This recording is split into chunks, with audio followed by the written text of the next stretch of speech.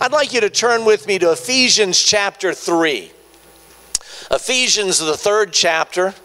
And as you're turning there, I want you to kind of get ready because I'm going to get you to mark that spot because I'm going to have you to turn someplace else as well. So, uh, Ephesians, uh, turn to Ephesians chapter 5 first. Let's do it backwards. Pastor, you're messing me up. Turn to Ephesians chapter 5 first and then mark your place in Ephesians chapter 5. And then, after you've found your place in Ephesians chapter 5 and mark it, then look for Ephesians chapter 3. We're going to start there. So, Ephesians chapter 5 and then then Ephesians chapter 3. You know, this, this pandemic that we're dealing with, this crisis, this pandemic that we're dealing with, has had a major impact on our most valuable resource. This pandemic has had a major, major impact on our most valuable resource. And I'm not talking about our economy. I'm not talking about our gross national product.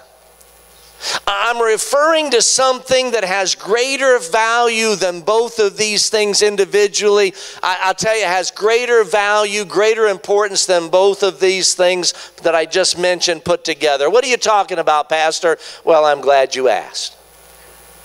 You didn't ask, but I'm glad you asked. The family.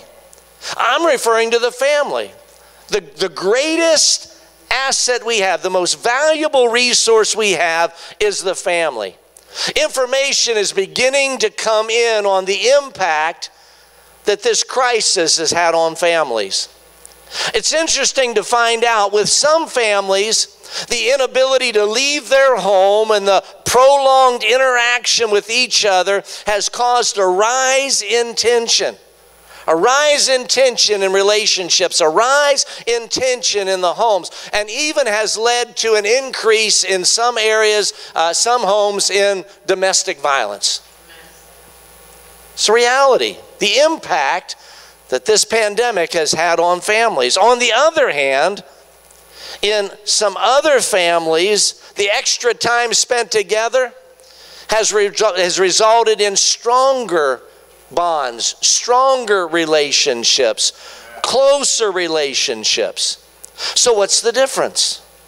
There, there has to be a difference if, if the same pandemic, if the same uh, situation of social interaction, if in one family it's causing greater tensions and, and some situations leading to domestic violence, but in other relationships, other families, other homes, uh, it's causing stronger relationships, closer bonds. What's the difference? Now, somebody would say right off the bat, well, one's Christians and one's not Christians. And I, I'm sorry to tell you this morning, that's that's not the truth. That's not the difference. That's not the case.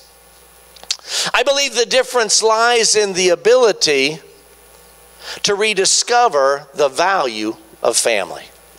Did you hear what Pastor just said? I believe the distant the, the difference uh, is found in the ability to rediscover the value of family. See, we've looked beyond, or we need to look, we have to look beyond our immediate family to begin to understand the value of family.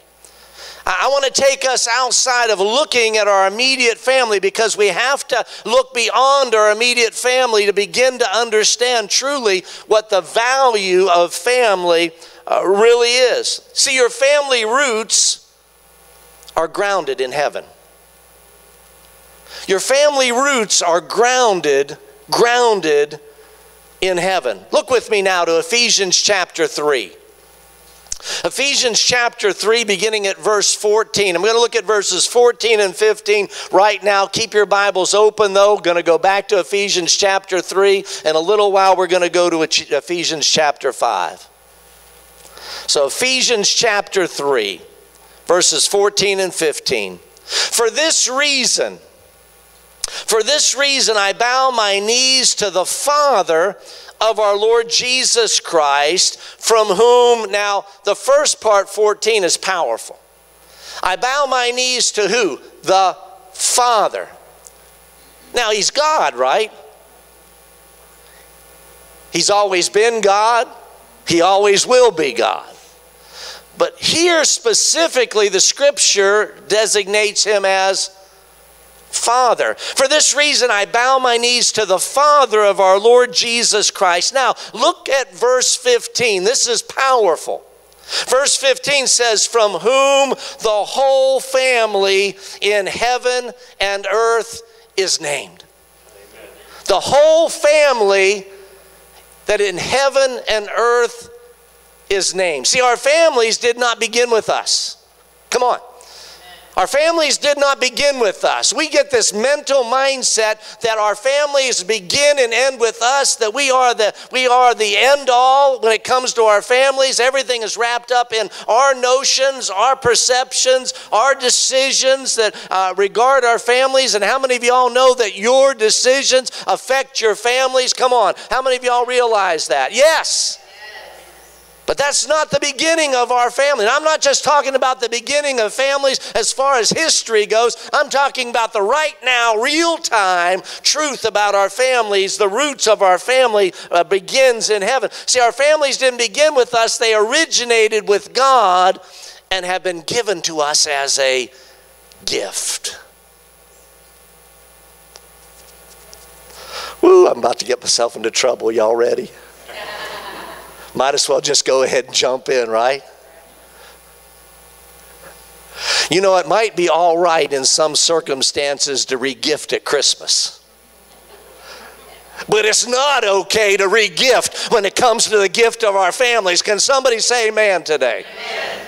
God's given us our family as a gift. Every gift God gives has a purpose that, if handled properly, benefits everyone. Every gift that God gives, if handled properly, benefits everyone involved in that gift. When we rediscover the value of family, everyone benefits. When we rediscover the true value of the gift that God has given us in our family, everyone benefits from that gift. Ephesians chapter 3 goes on to describe the benefit we receive from our family connection with God the Father. So there's a benefit that we receive. God the Father, that family connection we have. Look now at verses 16 through 19. Ephesians chapter 3, verses 16 through 19. That He, who?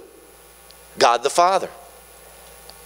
That He would grant you, who's the you? Come on, raise your hand. If you're you, if you're not sure you're you today, we'll pray for you. But if you're you, go ahead and slide that hand up. That means me. He's talking to me. I'm you. Very good. That he would grant you according to the riches of his glory to be strengthened with might through his spirit in the inner man, inner woman, inner person, that Christ may dwell in your hearts through faith, that you being what? Rooted and grounded in what? Love, may be able to comprehend with all of the saints what is the width and length and depth and height. To know the love of Christ which passes knowledge, that you may be filled with some of the good things of God. I just can't get quite excited about that translation. Let me go back and see if I can read it better to know the love of Christ which passes knowledge, that you may be filled with all the fullness of God. How many of y'all are excited about the fullness of God in your life in every aspect and in every way? Hallelujah. Here we get a glimpse into the value of our family connection with God the Father. See, God the Father draws from His unlimited resources to strengthen us, who's us, His children, and He does it in a mighty way by His Holy Spirit, who through our family connection has taken up residency in us. Look back at verse 16 again. That He, God the Father, would grant you, according to the riches of His glory, to be strengthened with might through His Spirit in the inner man.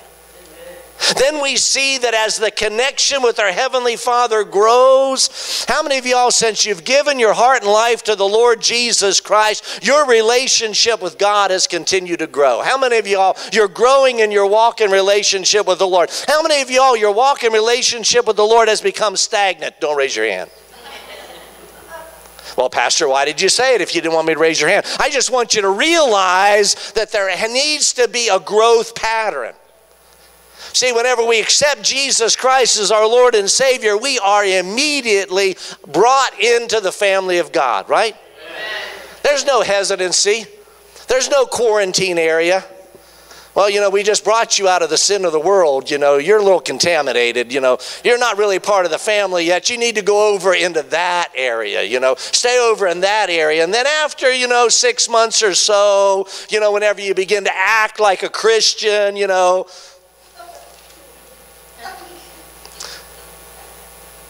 please don't raise your hand on this one. I just want you to think about it. How many of you all have had Christmas gatherings, Thanksgiving gatherings, other big holiday gatherings, Fourth of July gatherings, and you're inviting the family to come, or you're going to where the family is to be there, and in the process of thinking about all that and the family that's going to be there, is there a family member that crosses your mind that you think, oh boy, what's going to happen when they show up? Don't raise your hand. Now, you're not going to believe this. I know this is going to just blow your mind, but there are those individuals who have been uh, accepted into the family of God. They've asked God to forgive them of their sins. The Holy Spirit has taken them out of the camp of the enemy from under the power of Satan and has put them in the family of God and under the grace of God, and they don't act like they ought to act as believers. Now, I know you don't know that, but I'm just kind of letting you know. Reality is, all of us have not acted like we should at times. Come on. But yet we're still the children of God. And when we choose to allow the Holy Spirit who lives and dwells in us to cause us to grow, that's what pastor's talking about now. Not being stagnant, not, not coasting through our Christian life, but earnestly and fervently seeking a deeper relationship with the Lord Jesus Christ. As that connection with our Heavenly Father grows, so does our understanding of the power of God's love for us. Verse, let's, let's take a moment, 17 and 18. That Christ may dwell in your hearts through faith that you, being rooted and grounded in love, may be able to comprehend with all the saints what is the width and depth, or length and depth and height, to know the love of Christ, which passes understanding. You know, about every time I think that I understand how deep God's love is for me, He takes me to another level of how much He loves me. Come on, how about you? He loves you. Your Heavenly Father loves you. If somebody else this week has caused you to feel unloved, I want to tell you it's not your Heavenly Father because your Heavenly Father loves you. Can I get an amen this morning? And the more we receive of God's love, the more we receive the Heavenly Father Himself. Let me tell you that again. The more we receive of God's love, the more we receive of the Heavenly Father Himself. Pastor, did you make that up? No. There at the end of the verse, that you may be filled with all what? The fullness of God. See, our families are to be an extension of our relationship with God. Our families are to be an extension of our relationship with God. I want you to go to Ephesians chapter 5 with me now. Ephesians chapter 5. When you get to chapter 5, look down until you find verse 31. Ephesians chapter 5, verse 31. Verse 31 says, As the scriptures say, a man leaves his father and mother and is joined to his wife and the two are united into one. Now, that's powerful, that's important. That deals with our natural family, our natural relationships, but it's also spiritual in nature. Uh, individuals think that marriage is simply a contract, a legal agreement here in this world, in this life. I have to tell you that that's only a small part of it. It's spiritual and powerful. But I want you to look at the next part, verse 32. This is a great mystery but it is an illustration of the way Christ and the church are one. See, both relationships, the relationship of husband and wife, and the relationship of Christ and the church, are a part of the family of God. The relationship of husband and wife and the relationship of the, the Christ and the church are part of the family of God. See, a man and a woman joining together to extend the natural family, right?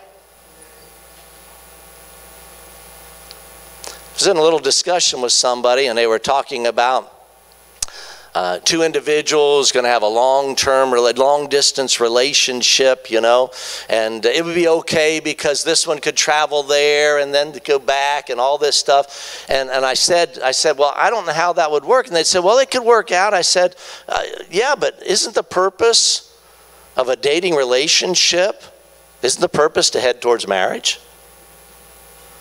So how's their marriage going to work out? See, we have to understand, we, we, we tend to have a, have a secular, cultural mindset when it comes to things.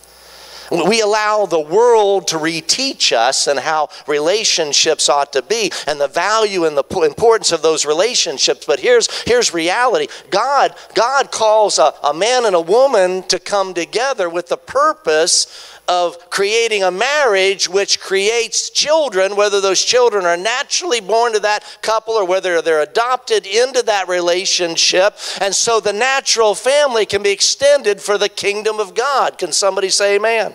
amen. And then you and I joining together with Jesus to extend the spiritual family. So we're talking about two different relationships, but they're heading in the same direction. The natural family and the spiritual family are joined together into the one family of God. And since the value of family originated in heaven, doesn't it make sense that we should look to heaven for our example of the family?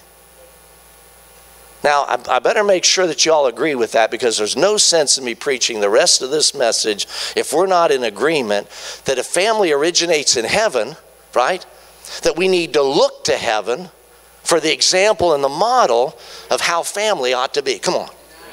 Are we in agreement on that? Thank goodness, because I had nothing else to say if you didn't agree with that.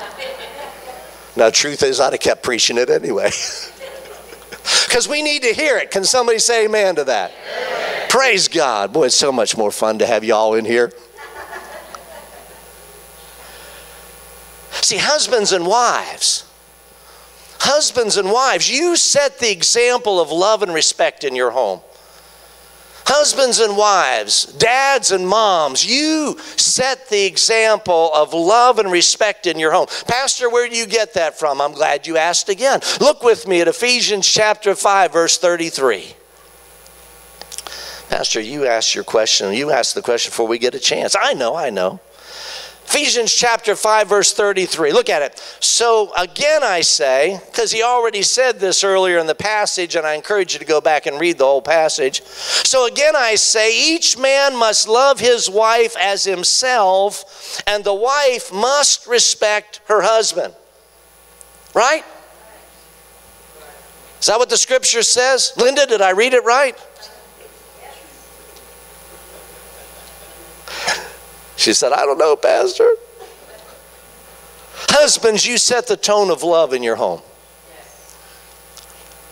See, there's this mindset because women have a loving, naturing uh, spirit about them, and I just preached about that last Sunday. That the thought is, well, women set the tone of love in the home, and I'm telling you, it's not. The women don't set the tone of love, the husband sets the tone of love in the home. I'll explain to you why. Gentlemen, if your love is conditional, if your love is conditional, then your family will learn to withhold love. Guys, if we fall into the trap of saying, well, if I express love, if I demonstrate love and they're not doing the things they ought to be doing, I need to withhold that love until they do the things they ought to be doing. And once they're doing the things the right way, then I'm going to show them my appreciation by demonstrating love. Sir, if you withhold love, if your love is conditional upon the performance of those in your family, then your family learns to withhold love until the performance of the individuals that they're in a relationship comes to that level that they feel like they can give love. However, however, if you follow Jesus' example of unconditional love, You know, whatever Jesus, I love this story because it's so powerful. When Jesus went to John the Baptist to be baptized, right? Jesus went to John the Baptist to be baptized, and we know John didn't want to baptize him because he knew who Jesus was. He said, I need you to baptize me. But, but Jesus said, No, to fulfill all righteousness, I need to be baptized. So Jesus was baptized. You remember what happened the moment Jesus came up out of the water? The heavens opened up. And Father God said, This is my beloved Son in whom I am what? Well pleased. Wait a second. Jesus hadn't done his first miracle yet.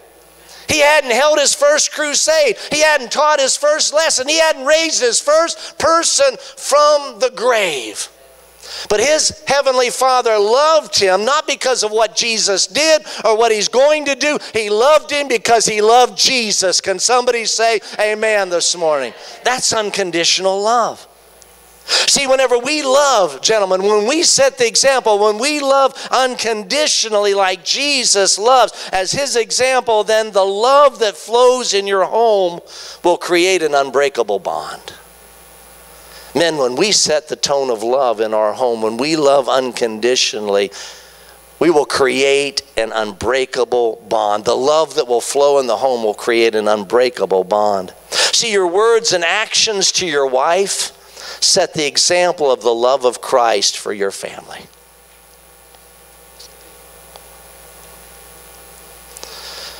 I got to stand before you and tell you that there are times that Jonathan and Krista heard me respond to Fran in a way that wasn't demonstrating the fullness of the love of Christ. Come on.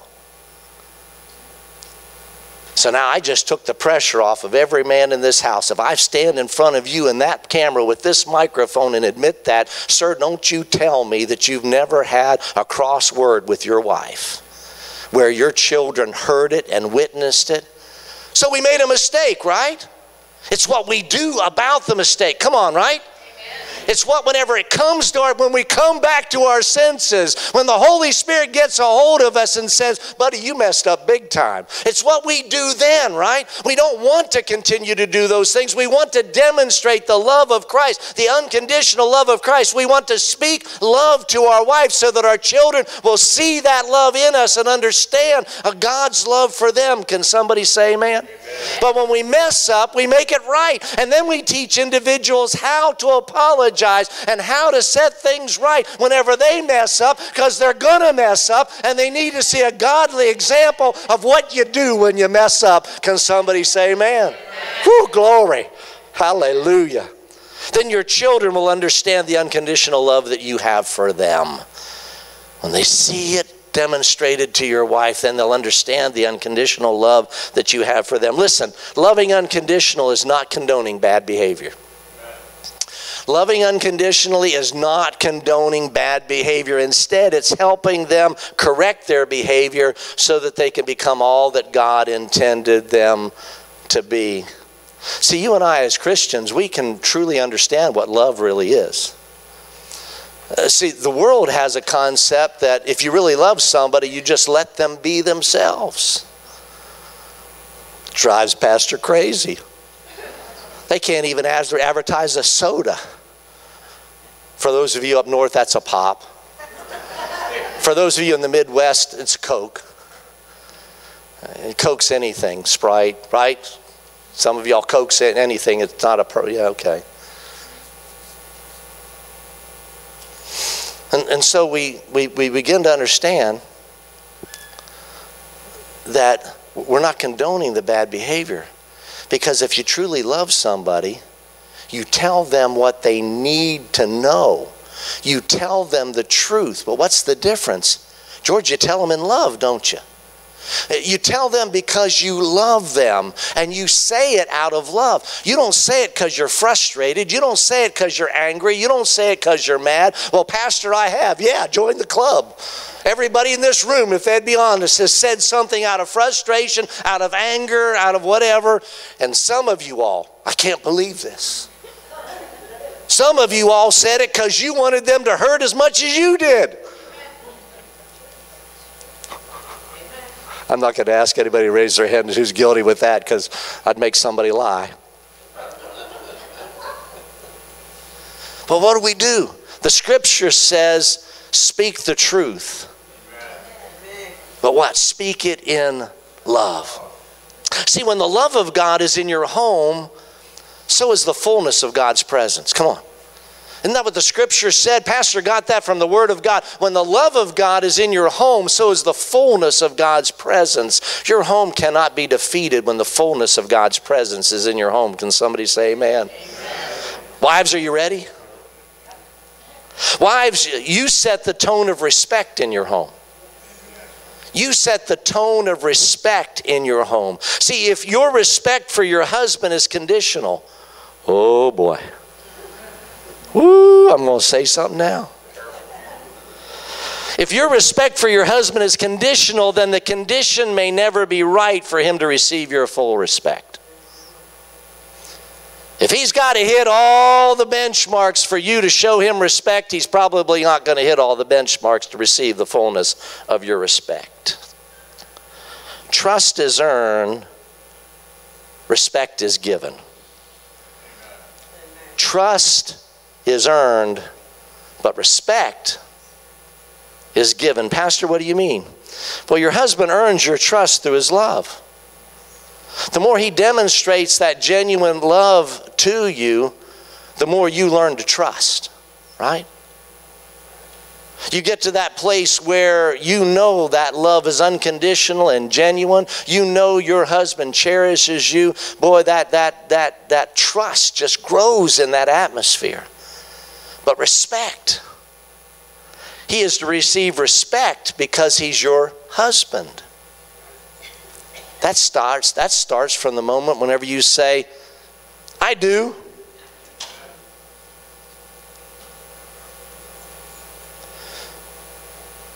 When your children see you respecting your husband, they will learn to give him respect as well. Now, you might think I'm meddling, but I'm telling you, this is good preaching.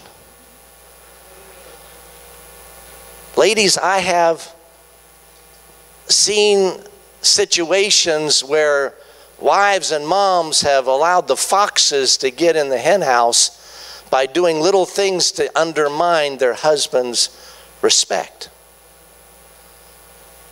Well, Dad said for us not to do this, but just don't tell Dad and we'll go do it anyway. It's just a little thing. It's just a little thing.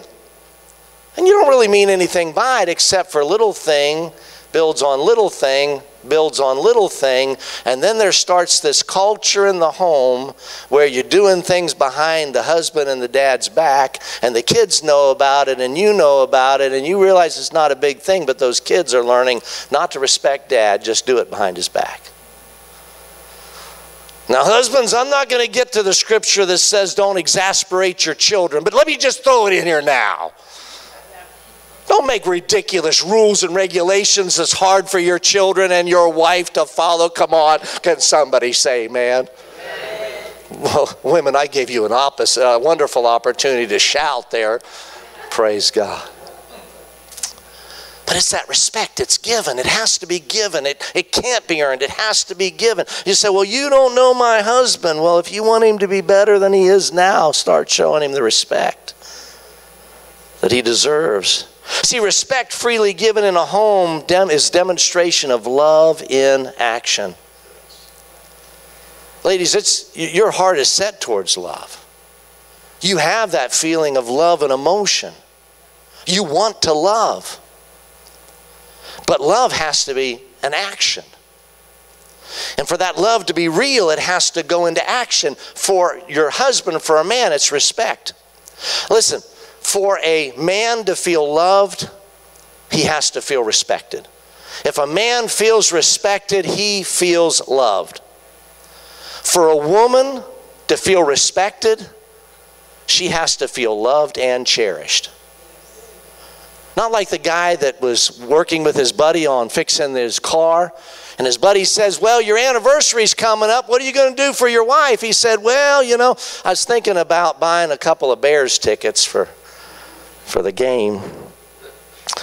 He said, Is that going to show her love? Well, she don't need to know love. We're just going to go do something together. Don't you think you need to tell your wife you love her? He said, Well, you know, I told her when we got married I loved her, and I told her if anything changed, I'd let her know.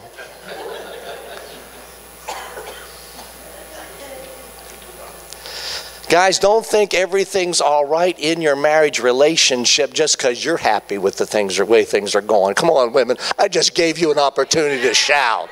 Amen.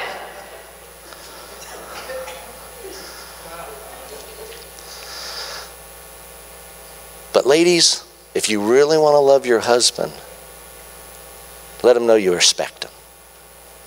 And he'll feel that love. Gentlemen, if you want your wife to feel like she's respected, then cherish her. Don't just say, I love you, honey. Cherish her. Come on. There's a little princess or a queen in every side of every lady, right? Come on. Amen. Respect provides a safe platform from which disagreements can be resolved. If there's mutual respect in the home, how many y'all know you're going to have disagreements? But if there's mutual respect in the home, that creates a safe platform from which disagreements and disputes can be resolved. Children. Boy, I wish there was a whole lot more children. Y'all are going to have to just share this, right? Children set the tone of honor in the home. Children set the tone of honor in the home. Ephesians chapter 6. Just look down a little further there in chapter 5. Ephesians chapter 6, verses 1, 2, and 3. Children, obey your parents because you, what's it say? Because you belong to the Lord. There's that family connection again, isn't it? The roots of our family are grounded in heaven. Uh, children, obey your parents because you belong to the Lord, for this is the right thing to do. Honor your father and mother. This is the first commandment with promise. If you honor your father and mother, things will go well for you. Oh, yeah. And you will have a long life on the earth. You know, once again, the earthly family is connected to the heavenly family. Children honor their heavenly father by showing honor to their parents. When a, when a child honors their parents, they're actually showing honor to the Heavenly Father. Honoring parents is not a suggestion, but a requirement for God's blessings. Isn't that what it says? Verse 2 Honor your father and mother. This is the first commandment, not suggestion, the first commandment with a promise from God. Honor like respect in the family is given, not earned. Uh, you know, before I was become senior pastor, I was a youth pastor. Well, I had several positions, but I was a youth pastor at one point. Some of y'all are looking at me and said, Pastor, you never were a youth pastor. Yes, I was, I promise you. And I had several students that came to me, and we were preaching and teaching and ministering on honor your parents. And they sat down to talk with me individually, not together, but individually, and they began sharing with me their situation at home. I have to tell you, when you talk about dysfunctional families, these were some dysfunctional families. They said, Pastor, do I still have to honor my parents? I said, Here's something you need to understand. You're not honoring your parents because they deserve it in some way.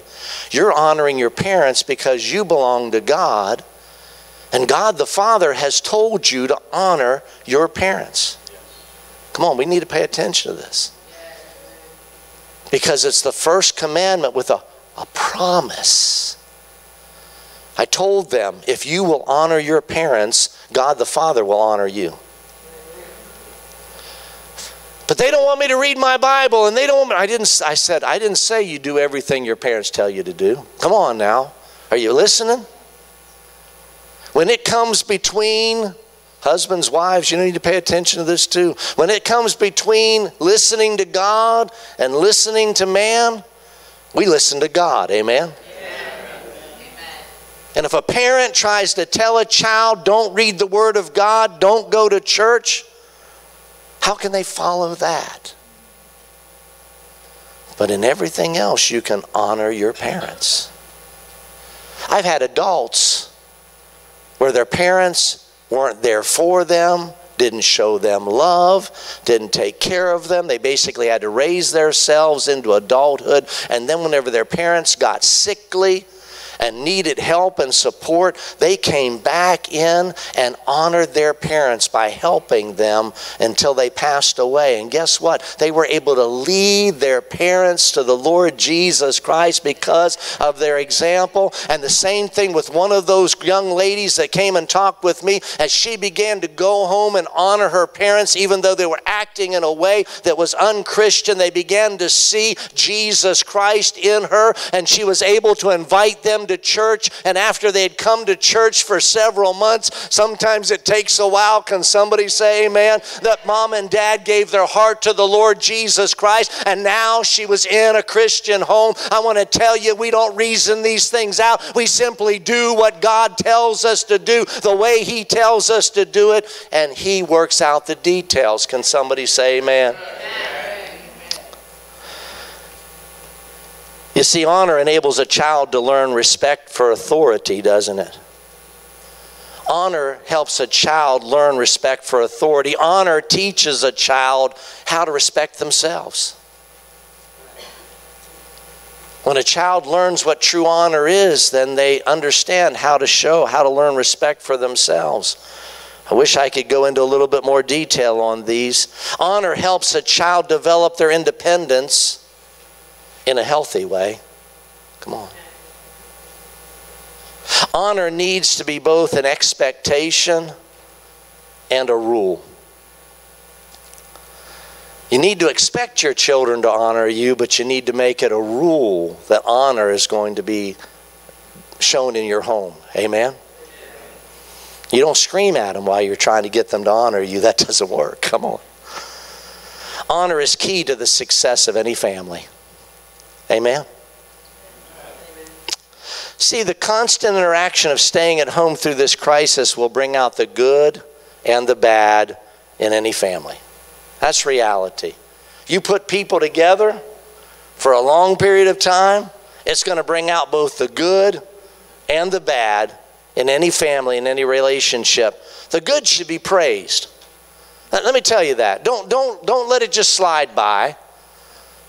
You know, if, if somebody in your family is doing something good, give them praise for it.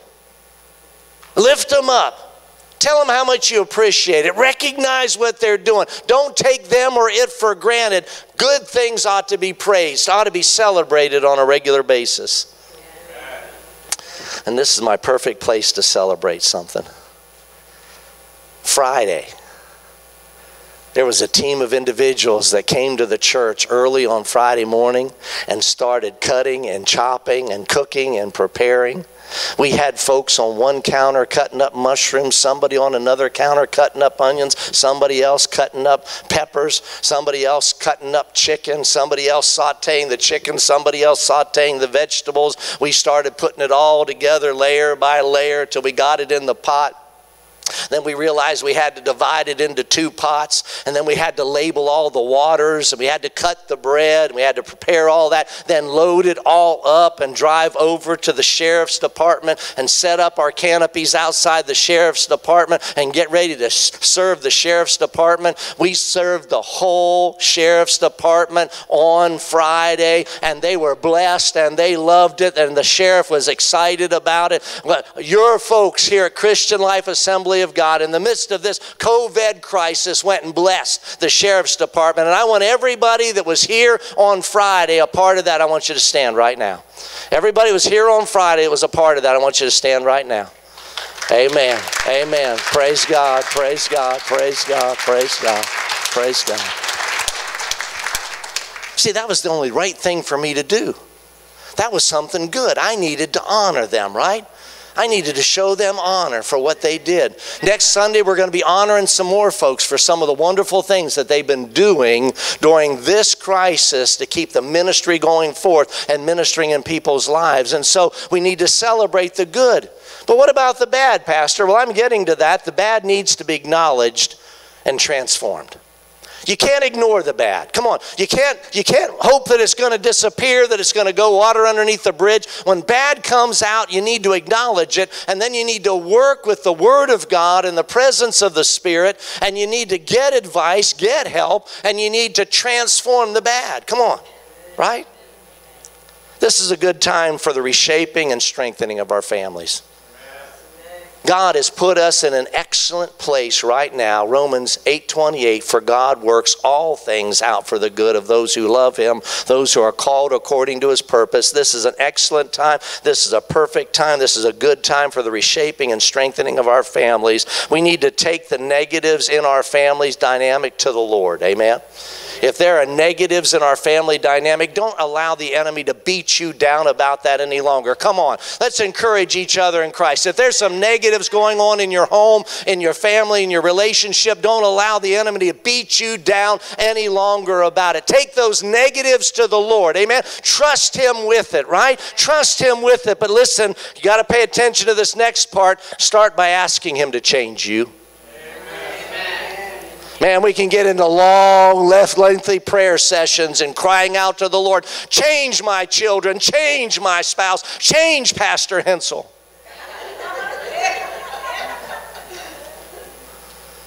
We need to be praying, Lord, change me. Lord, start with me. Lord, do a powerful work in me. Because I know if you get me where I need to be, then you can work through me in the life of everybody else around me. Can somebody say, man? Amen. Hallelujah. Then continue to apply the increase of love, respect, and honor in greater levels in your home. Can somebody say, amen?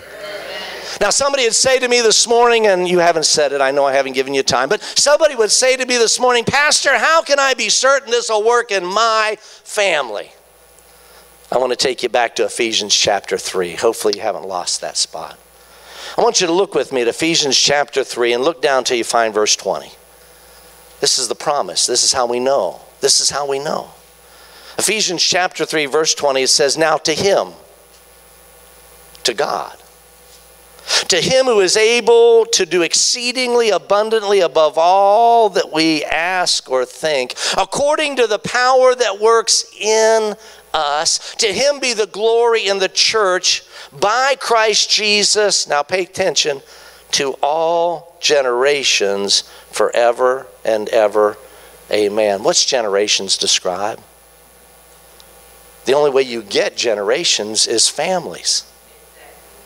If families stop existing, guess what? There are no more generations. All through this, God is talking about the family that is joined together the, the heavenly family, the earthly family. Now, to Him who is able to do exceedingly abundantly above all that we can ask or think, according to the power that works in us. You're the key to the transformation of your family. Come on. You're the key to the transformation of your family, but you cannot do it your way and you cannot do it on your own, but you can do it through the power and the presence of God's Word and His Holy Spirit. Amen? I pray this message has encouraged you this morning. I pray that it's uplifted your spirit and given you hope. Because when we see the reality of the Word of God, and we take and we compare that to what's happening in our life and the world, we understand that there is a way through anything that we've come to combat. God always has an answer, He always has a way. And when we rediscover the value of family, you know, I've talked to a number of individuals through this process who've had to change their schedules about stuff. It's not that they're still not busy, they're, they're still busy. A lot of pressure, a lot of things on them, but they've had to change their schedule about things. And that's caused them to, to reflect on their family more and more. And as they've been reflecting on their family, God has been speaking to them about the importance and value of their family. And I've talked to a number of leaders, good men, good women, who coming through this god has spoke to them. And even when they come out of this they've already made a determination that they are purposely readjusting their schedule because they're going to spend more quality time with their family. They're going to put greater value on their family relationships